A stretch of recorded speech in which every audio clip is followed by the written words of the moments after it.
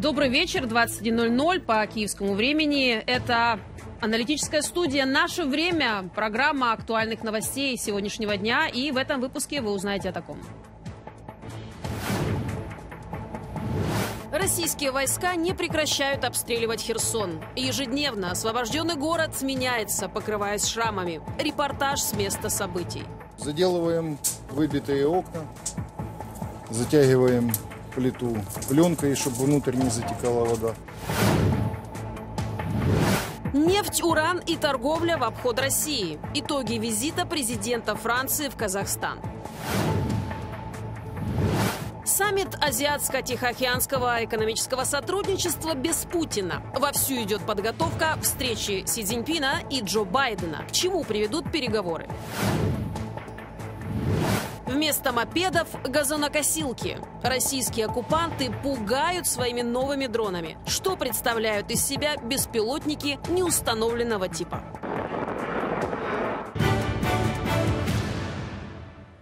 Итоги встречи на Мальте. Владимир Зеленский провел совещание с делегатами от Украины, которые представляли страну на встрече. Президент подчеркнул, что даже в непростое время обострения в разных частях мира количество участников встречи на Мальте увеличилось, и они готовы консолидироваться вокруг предложений Украины по завершению войны и достижению справедливого и устойчивого мира. В своем обращении он также напомнил, 30 лет назад вступил в силу Маастрихтский договор, заложивший основы современного европейского единения.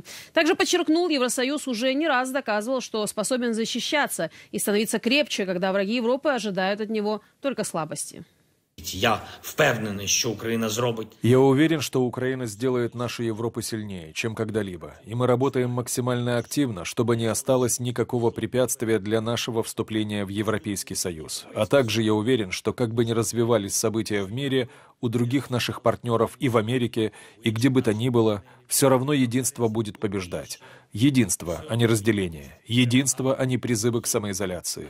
Я благодарю всех за помощь Украине, за совместные действия в защите наших европейских ценностей, а также благодарю всех тех в мире, кто помогает беречь единство. Всем от Вашингтона до каждой столицы мира, в которой ценят людей и жизнь.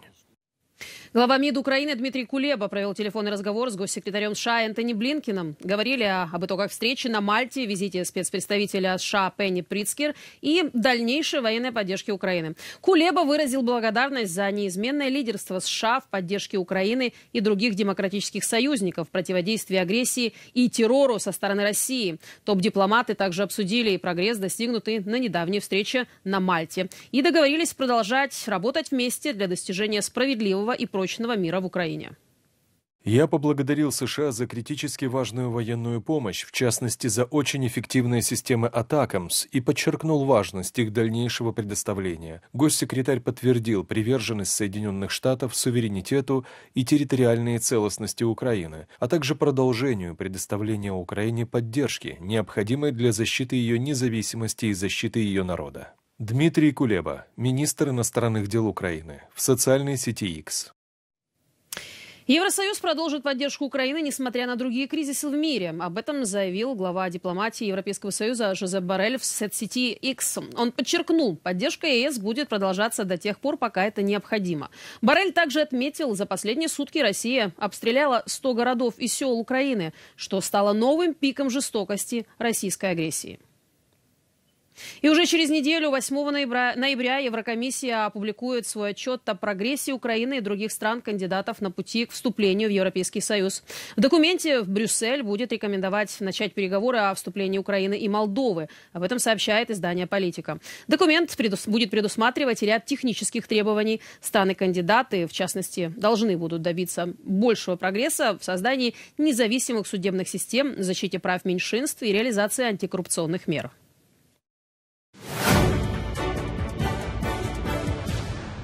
Но тем временем в США идет подготовка к саммиту Азиатско-Тихоокеанского экономического сотрудничества.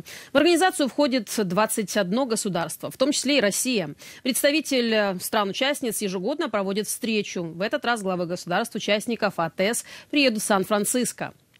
Правда, российского президента и главу администрации Гонконга там не ждут. Подробнее расскажет Данила Ковза.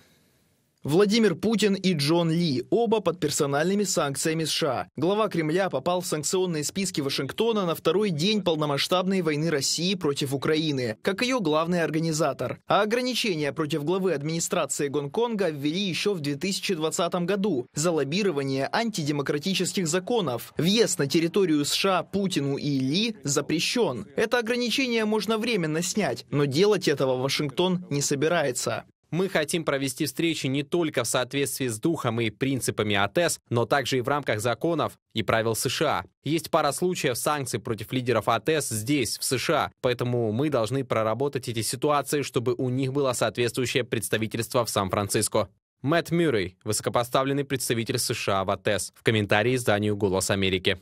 В 2020 году Путин отказался от поездки на очередной саммит блока в Бангкоке. Россию на встрече представлял первый вице-премьер-министр Белоусов. В 2023 Россия добивалась участия Путина в саммите, но это не помогло. Российский президент мог бы попробовать самовольно прилететь в Сан-Франциско, ведь Соединенные Штаты Америки не обязаны арестовывать Путина по аресту Международного суда, поскольку страна не ратифицировала Римский статут. Публично Вашингтон не обещал арестовывать арестовывать Путина на американской земле, но решение Гааги поддерживает. Я бы сказал, что был бы очень удивлен, если бы Владимир Путин, который в последнее время очень неохотно покидал границы России из-за страха быть арестованным за военные преступления, которые он совершил, я был бы очень удивлен, если бы он захотел явиться на встречу Сан-Франциско. Впрочем, участие или не участие Путина в саммите АТЭС не является горячей темой для обсуждения. Гораздо более важны переговоры лидеров США и Китая, которые пройдут в кулуарах саммита. Встречу Си Цзиньпина и Джо Байдена уже готовят, хотя Китай пока официально не подтверждал визит генсека. Ожидается, что эти переговоры могут стать кульминацией процесса, который длится уже более года. За это время Пекин посетили глава Госдепартамента, министры финансов и торговли США, а Вашингтон – министр иностранных дел Китая. И война России против Украины, и нападение группировки Хамас на Израиль являются прямым следствием вмешательства Китая и или китайской помощи. Китай повезет все региональные конфликты, которые он поддерживает, в Соединенные Штаты и выложит это в форме определенного прейскуранта. И Америке придется так или иначе искать с ним общий знаменатель. Но я надеюсь, что Белый дом в дальнейшем будет следовать, как он и анонсирует, основам поддержки Украины и не допустит какого-либо китайского вмешательства в этот процесс. Саммит Азиатско-Тихоокеанского экономического сотрудничества пройдет с 11 по 17 ноября. Заявленной целью встречи является обсуждение дальнейшего экономического развития региона. Но тем временем Казахстан готов нарастить поставки нефти и урана во Францию, а также нацелен развивать торговый коридор в обход России. Об этом заявил президент страны Касым Жамар Такаев после переговоров со своим французским коллегой Эммануэлем Макроном. Он, напомню, сегодня прибыл в Астану с официальным визитом. В свою очередь Макрон похвалил Казахстан за отказ стать на сторону России в ее войне против Украины, а также анонсировал новые деловые соглашения между странами. Я ни в коем случае не недооцениваю геополитические трудности, давление, которое некоторые могут оказывать на вас. Франция ценит путь, которым вы идете для своей страны, отказываясь быть вассалом каких-либо государств и стремясь строить широкие и сбалансированные отношения с разными странами. Эммануэль Макрон, президент Франции. Центральная Азия – это не только самый короткий, но и наиболее жизнеспособный маршрут для обеспечения безопасности цепочек поставок между Европой и Азией. В ожидании увеличения объемов мы активно работаем с нашими партнерами над модернизацией инфраструктуры с годовой целью в 10 миллионов тонн грузов. Ну, а председатель Еврокомиссии Урсула фон дер Ляйен завершила свой тур по западно-балканским странам, претендентам на вступление в Европейский Союз. Финальный визит тура пришелся на столицу Боснии, Сараево. Ожидается, что вскоре Еврокомиссия обнародует отчет о прогрессе стран-кандидатов и потенциальных кандидатов на пути к членству в ЕС. В частности, речь о Сербии, Черногории, Косово, Боснии и Герцеговине. К слову, документ впервые будет охватывать и анализ усилий Украины, Молдовы и Грузии на пути к евроинтеграции. Президент Сербии Александр Вучич распустил парламент страны и объявил внеочередные парламентские выборы на 17 декабря. Накануне правительство направило Вучичу аргументированное предложение о распуске национального собрания и назначении выборов. Как заявили в правительстве, проведение новых выборов при существующих обстоятельствах обеспечит высшую степень демократии, уменьшит напряженность в обществе, утвердит свободное выражение мнения и взглядов по политическим, экономическим и другим вопросам. Poštovani građani Republike Srbije. Уважаемые граждане Республики Сербия, желаю вам удачи на выборах. Мы живем во времена, сложные для всего мира. Они наполнены глобальными трудностями, войнами и конфликтами. Они требуют, чтобы мы объединились в защите жизненно важных национальных и государственных интересов Республики Сербия. Во времена, когда мы столкнемся с многочисленными давлениями из-за отношений с Косово и Метохией и других региональных и мировых проблем – Сохранение мира, стабильности, внутренней сплоченности и демонстрация демократии очень важны для Сербии. Но мы продолжаем следить за ситуацией на Ближнем Востоке. Армия Израиля впервые применила систему Arrow-3, которая является наивысшим элементом эшелонированной противоракетной обороны. В частности, удалось перехватить запущенную из Йемена баллистическую ракету без ущерба для израильской территории. Об успешном перехвате баллистической цели сообщила армия обороны Израиля. Заявление было сделано после того, как местные жители сообщили о громком взрыве, а в сети появились фото белого следа в небе от ракеты-перехватчика. Ответственность за инцидент взяли йеменские хуситы. Как заявили разработчики системы Arrow Arrow 3 доказала наличие самой, перед, самой передовой технологии защиты от баллистических ракет. И Израиль показал, что обладает действительно надежной противоракетной обороной. Ликвидация Хамас – стратегическая цель Израиля. В противном случае юг страны восстановить будет невозможно. Об этом в эфире телеканала Freedom заявил главный редактор израильского издания «Детали» Эмиль Шлеймович. По его словам, людей не удается вернуть, не удастся вернуть, если они не будут знать, что угроза полностью ликвидирована. Люди просто боятся, что если мы не справимся с Хамасом, который, в общем-то, в списке наших врагов один из самых слабых, хотя он и силен, то это может спровоцировать атаки других, атаки Хизбаллы, атаки Ирана и так далее. США и Израиль изучают несколько вариантов будущего сектора газа после того, как израильские силы вытеснят Хамас. Об этом сообщает издание Bloomberg. Один из вариантов предусматривает создание многонациональных сил, в состав которых могут войти американские войска. Другой вариант – это создание миротворческих сил по образцу тех, которые осуществляют надзор за выполнением мирного договора между Египтом и Израилем 1979 года. Ну и третий вариант предусматривает временный надзор за сектором газа со стороны организации Организации Объединенных Наций. По данным СМИ, переговоры находятся на ранней стадии, и многое может измениться.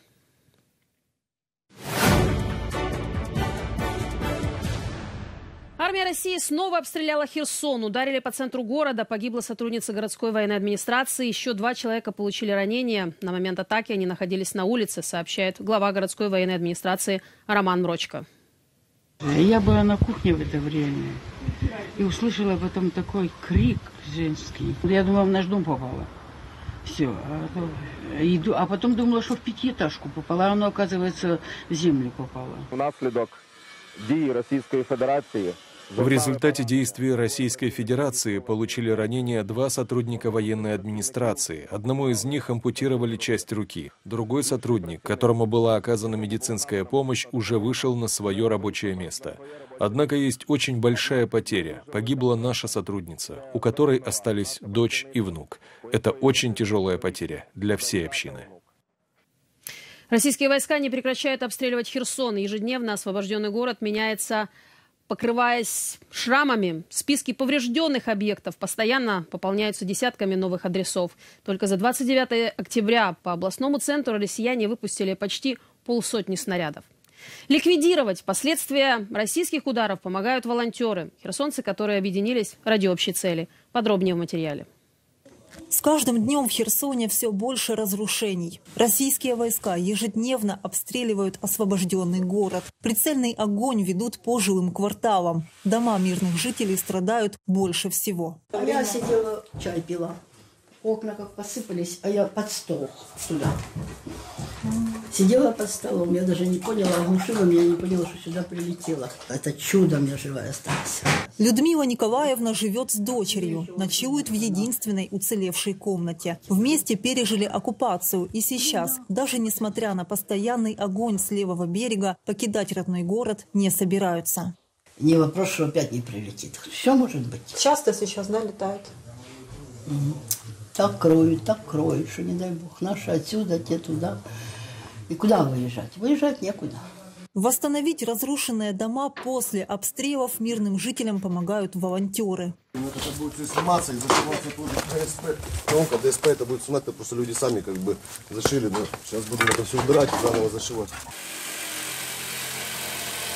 Заделываем выбитые окна, затягиваем плиту пленкой, чтобы внутрь не затекала вода. Ну, объем работы вы можете сами посмотреть. После прилета радостного тут мало. Много, да, таких заявок в целом по городу? Очень много. Мы живем на фронте. Справжні организация волонтеров из Херсона. Местные жители объединили свои усилия, чтобы помочь каждому нуждающемуся. После теракта, устроенного путинской армией на Каховской ГЭС, команда выросла с пяти человек до нескольких десятков. Разбились на группы, у каждой свои задачи.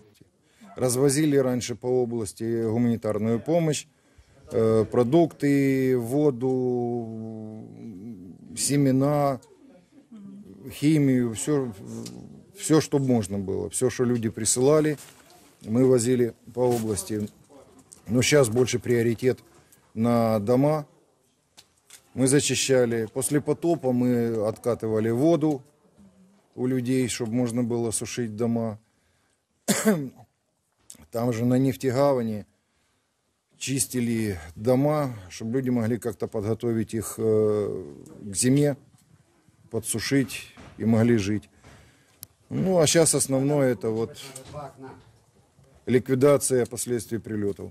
Большинство волонтеров работают без передышки с первых дней деоккупации Херсона. Задач с каждым разом все больше. Их добавляет постоянный террор российской армии. Справжние остаются в Херсоне и готовы помогать столько, сколько будет нужно.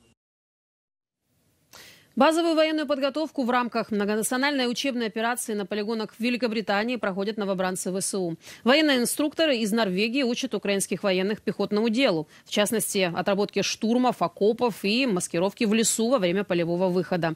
Представители Северной Европы хорошо ориентируются в вопросах подготовки военных в непростых погодных условиях. Поэтому дождь и вода в траншеях не повод прекращать тренировку, а напротив, самые лучшие условия для отработки заданий, так заявляет в Генеральном штабе ВСУ. И подробнее о ситуации на поле боя прямо сейчас вы можете узнать в сводке Генерального штаба Вооруженных сил Украины. Силы обороны Украины продолжают наступать на Мелитопольском и Бахмутском направлениях, истощают российскую армию по всей линии фронта и закрепляются на достигнутых рубежах. Всего за прошедшие сутки на передовой произошло 43 боевых столкновения с российскими войсками, сообщает в вечерней сводке Генштаб Вооруженных сил Украины. Командующий сухопутными войсками ВСУ генерал-полковник Александр Сырский показал работу 14-й отдельной механизированной бригады на Купинском направлении. На видео видно уничтожение и повреждение танков и БМП российских российских оккупантов. В то же время украинские пограничники показали неудачный штурм российских войск на Купинском направлении. Два российских танка Т-72 пытались штурмовать позиции ВСУ, однако по дороге подорвались на собственных минах.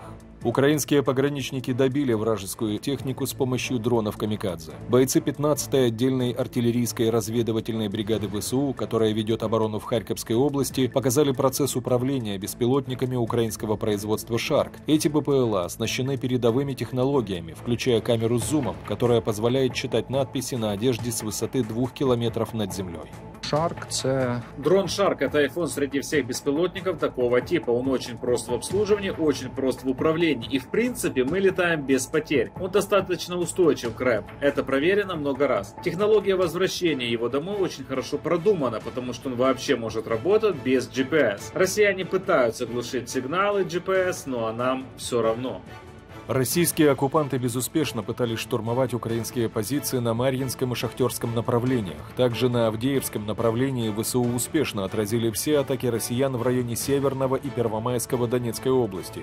И по факту мы наблюдаем с вами ситуацию, при которой противник э, пытается на отдельных участках фронта вести локальные, можно сказать, изолированные э, атакующие действия. Их даже нельзя назвать наступательными. Атакующие или контратакующие действия для того, чтобы, да, показать хоть какой-то успех. Тем временем советник мэра Мариуполя Петр Андрющенко сообщил, что российские войска формируют оперативно-технические склады в Мариуполе и районе. Для этого используют ангары, гаражи и бывшие зернохранилища. Противник пытается как бы рассредоточиться, пытается отвести максимально свои базы и склады, но сами понимаете, Э, перебросить одномоментно тысячу-две тысячи тонн боеприпасов, перевести одновременно 3-5 тысяч тонн топлива – это достаточно сложная задача. Проводится разведка и мониторится состояние складов на южном направлении. Там э, тоже практически все цели известны, ну а про Крым уже говорить нечего. Цели разведанные координаты известны до метра буквально. Партизанское движение «Отеж» тем временем сообщает о том, что российские военные начали переодеваться в гражданскую одежду из-за боязни украинского подполья в Херсонской области. При этом их легко идентифицировать по оружию или военному рюкзаку. Херсонский треугольник, вот этот, который образовался на левом берегу, является такой, собственно, проклятием для противника, потому что удержать его достаточно сложно, а обеспечивать его еще сложнее. Общие потери армии РФ с 24 февраля прошлого года уже составили 301 490 военных. За сутки были уничтожены еще 680 российских оккупантов, 12 танков, 30 боевых бронемашин, 28 артиллерийских систем, 2 РСЗО и одна система ПВО. Кроме того, сбиты 28 беспилотников и одна ракета. Уничтожено 37 единиц спецтехники и цистерн с топливом. Северная Корея отправила в Россию более 1 миллиона артиллерийских снарядов. Об этом сообщает Bloomberg. Как сказал член правящей партии КНДР Юсан Бом, с августа этого года Северная Корея осуществила около 10 поставок оружия в Россию. Напомню, что в конце июля министр обороны России Сергей Шойгу совершил поездку в Северную Корею, где Ким Чен Ин провел для него экскурсию и показал новейшее вооружение страны. Ну а после недавнего визита Ким Чен Ина в Россию Белый дом заявил, что режим диктатора предоставил российским оккупантам тысячу контейнеров с военной техникой и боеприпасами. Вместо мопедов в газонокосилке армия Российской Федерации пугает своими новыми дронами. Недавно запустили беспилотники неустановленного типа. Один из них украинская ПВО сбила возле Киева. Что это был за аппарат, пока выясняют. Впрочем, первые видеозаписи дают понять, что этот дрон имеет, по крайней мере, одну особенность. Шум его двигателя похож на звук газонокосилки. Подробности выясняли мои коллеги. Это видео опубликовали россияне. Вроде бы летит беспилотник, а потом раздается взрыв. Его сбивает ППО. Фото первых таких дронов появились еще в мае. Беспилотники упали в Сумской области и выглядели кустарно. Когда наши его посмотрели, они удивились, что оно вообще летает. Это был дрон, сделанный из прямоугольных деталей. Фанерные, вырезанные из фанер боковины фюзеляжа. В качестве топливного бака там была просто бутылка. Такая круглая бутылка, как развозят минеральную воду по офисам. То есть было что-то непонятное. Ученый и авиаэксперт Валерий Романенко говорит, первоначальная цель таких дронов – сбить с толку нашу ПВО, создать ложные цели. Поначалу считалось, что это дрон для загромождения экранов наших радиолокационных станций. Там у носовой части был угловой отражатель, а угловой отражатель он максимизирует отражающий луч радиолокатора в направлении радара. Но скорость таких дронов оказалась небольшой. Например, если шахеды двигаются 220 км в час,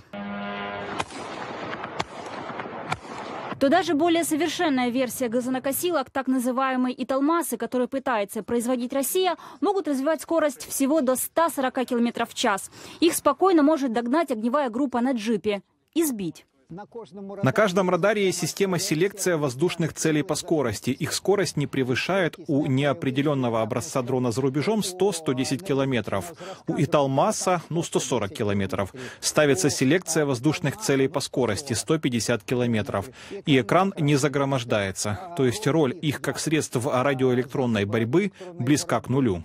Италмасы могут нести взрывчатку, но в разы меньше, чем иранские шахеды. Впрочем, производство таких дронов относительно дешевое – несколько тысяч долларов максимум. Оккупанты могут использовать их во время комбинированных атак на энергоинфраструктуру. А это дополнительная нагрузка на наши мобильные огневые группы, говорят эксперты, потому что их все равно придется сбивать.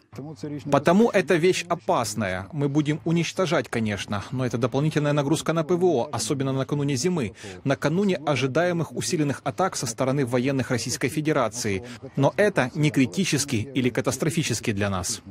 Поскольку к эффективности новых российских дронов большой дальности есть вопросы, эксперты сомневаются, что их производство в ближайшей перспективе станет серийным.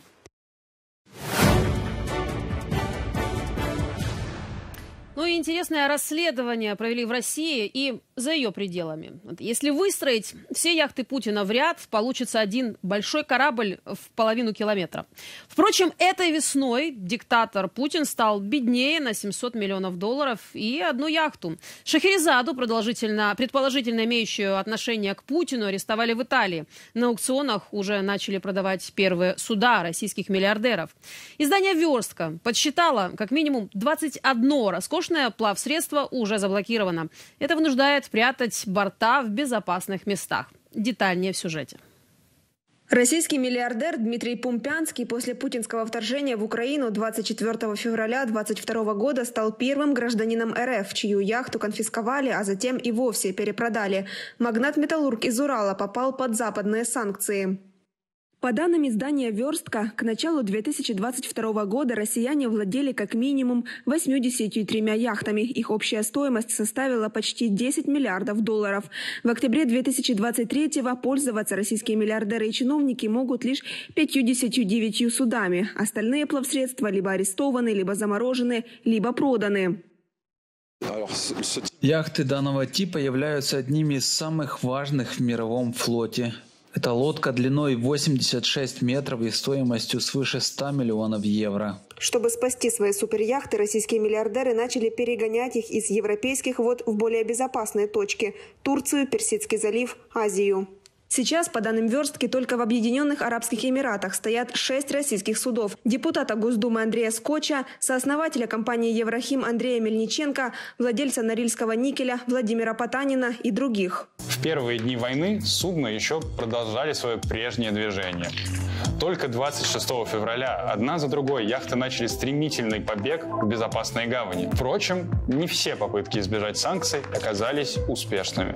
К примеру, не удалось спастись яхте «Аксиома», которая может принадлежать Дмитрию Пумпянскому на 24 февраля, бенефициару трубной металлургической компании.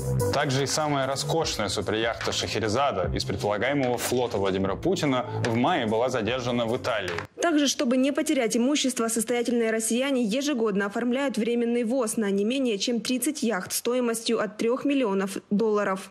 Из Индийского океана судно вышло 12 марта. Путь до Владивостока занял почти три недели. Сегодня утром яхта прошла под русским мостом и остановилась здесь, в бухте Золотой Рог. И теперь каждый приморец может сделать селфи на фоне белоснежного гиганта. Богатые твари, это слово. Обобрали Россию. Вот так вот. Богатеньких ждет Буратино. Скоро он пойдет на Камчатку. В конце июля. Ждет богатых. Туристов ждет богатых. Дмитрий Медведев свою яхту «Юниверс» также прятал в России, но этим летом судно эвакуировал в Стамбул. А потом вот прошлой осенью видели, видели ее в Сочи. И почему-то опять Стамбул. Почему?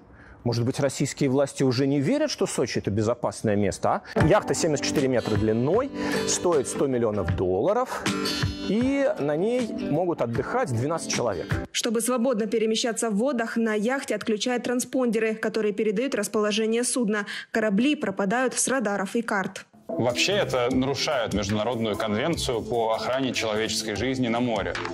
По ней капитан может отключить транспондер только в исключительных случаях, когда раскрывать навигационную информацию опасно для судна. Тем не менее, яхты российских чиновников и олигархов активно отключают транспондеры, чтобы скрыть свое местоположение. На долю российских бизнесменов ранее приходилось 10% от всех продаж яхт. Тем, кто сейчас пережидает времена в безопасных локациях, еще придется столкнуться с трудностями. У российских владельцев яхт уже есть сложности со страхованием, обслуживанием, размещением. Это толкает многих выставлять яхты на продажу, причем с большой скидкой.